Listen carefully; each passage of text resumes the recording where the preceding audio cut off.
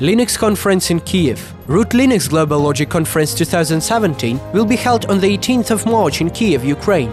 This is the first conference gathering of Linux embedded software developers community, aimed to meet top-level experts for knowledge sharing and experience exchange. The conference will maintain the building of Linux microservices, modern system trends, and insights of real-world applications.